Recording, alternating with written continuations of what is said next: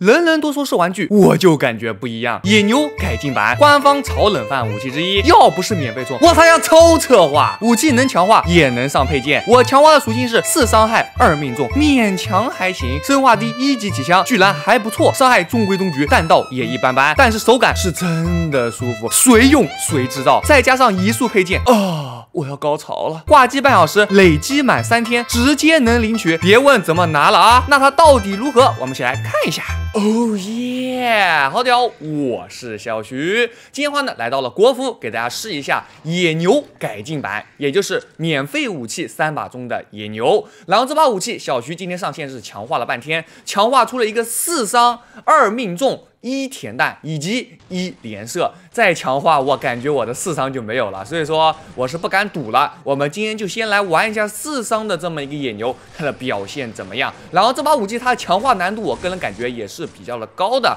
我听别人说，它的一个最优的强化点是。五伤三命中是它最好的一个强化，也有说连射的，这个的话我感觉大家怎么舒服怎么来就可以了。然后今天的话呢，老规矩，先给大家带来的是生化 Z 的七十二阶，先给大家第一局真实感受一下它的武器的爆发力，我们来看一下。然后小鱼自己也试过了，感觉爆发力还是不错的。左键大概是七十七，七十七一枪，打头呢？打头是一千多一枪。OK，僵尸开多了，我们直接开六。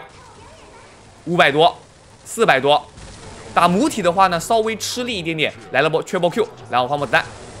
打身子一百四，打头两百到五百不等的一个伤害。好的，接下来的话呢，来到了沙漠一张地图，给大家实战，开始我们今天的野牛实况。我们来看一下野牛的表现如何。然后的话呢，野牛我也是装了一个五阶的攻击和一个五阶的移速。然后前面的话呢有僵尸，开局一只老母体没关系，左键稍微点住，左键六十六发子弹夹，直接收割掉一只，往后拉扯，我们有五移速，这个问题不是很大。尽量打头，漂亮，来了不多。我 Q 很舒服，然后这个房间的话呢，也是有两个玩家在的。我们的话就这边收割残血就可以了。这边有一只满血僵尸，直接一梭子，大概打了五十五发，是带走了一只。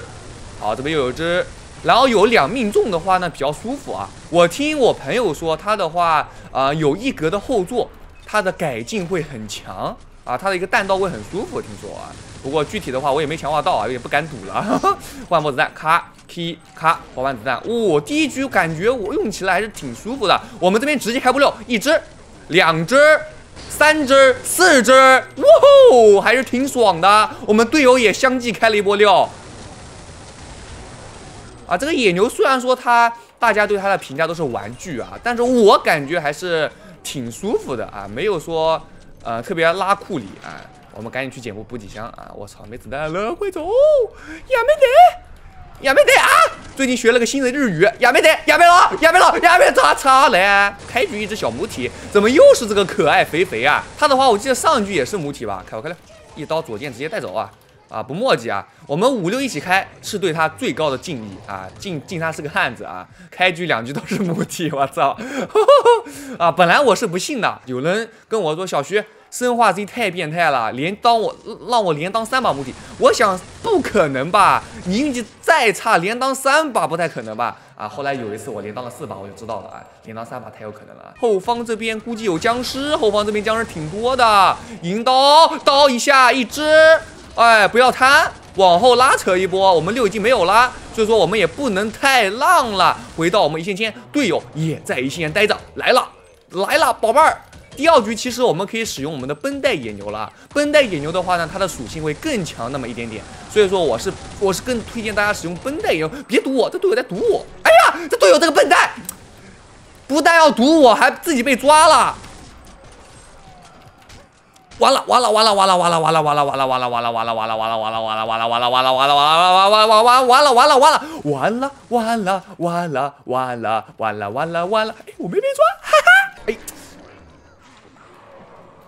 妈的智障！OK，有一只隐身的小芭比，打头是两百多，打身子一百多。我们开波五，不要慌，我们的六全部送给他。开六之后的话呢，是两百多一枪，然后是因为是芭比的缘故，我们弹道是不好射中那个僵尸，我们也不要贪，往我们的一线先拉。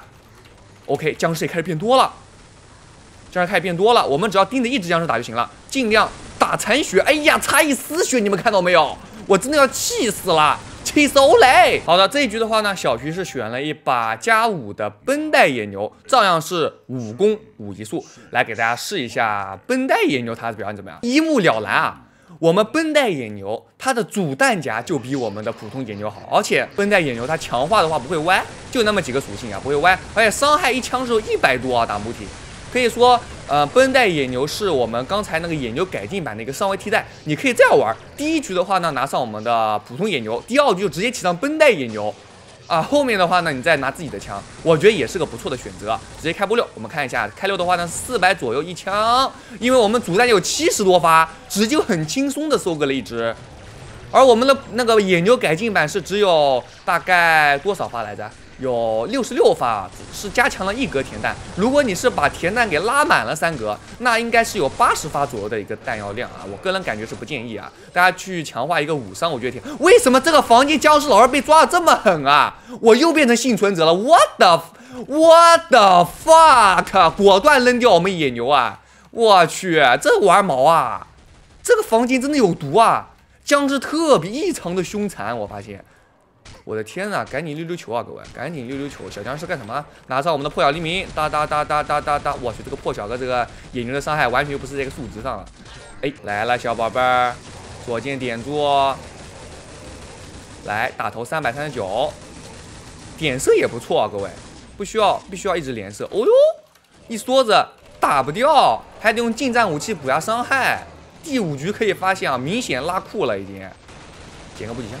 我们主弹夹好少啊！发现我们备弹，我们备弹只有三百发，主弹夹六十六发，也就是说你换大概五次子弹，你这个子弹就已经打完了。而且野牛这把枪本来就射速快，对不对？本来就射速快，主备弹更是不堪一击啊！只能这么说。开波六，兄弟，送给你这个料，四百一枪，再见。啊！是的，好的，各位，那我们今天视频也差不多到这边了。然后野牛这把武器的话呢，我相信我也不用继续玩下去了，大家应该也了解这把枪了。四伤的一个野牛，我个人感觉应该不算在玩具的一个范畴。我个人感觉它生化的第一局表现还是不错的。如果有条件小伙伴，我觉得可以装一个六攻六移。那么这把野牛在第一局，我觉得应该是非常非常舒服的一把武器了。不过你得注意好它的备弹啊，我感觉野牛这把武器什么都好，除了备弹有点拉酷啊，其他都还可以啊。不过六攻六移造价有点高啊，小徐的话还是更加推荐大家五攻五移就可以了，好吧？然后属性方面的话呢，我推荐大家来最好啊强化一个五伤。啊，五伤二命中一后座，应该是这把武器最舒服的一个状态，当然也是小鱼个人感觉，好吧？如果大家怎么舒服怎么来就可以了。那我们今天视频就到这边结束，我们下期视频再见了，各位，拜拜。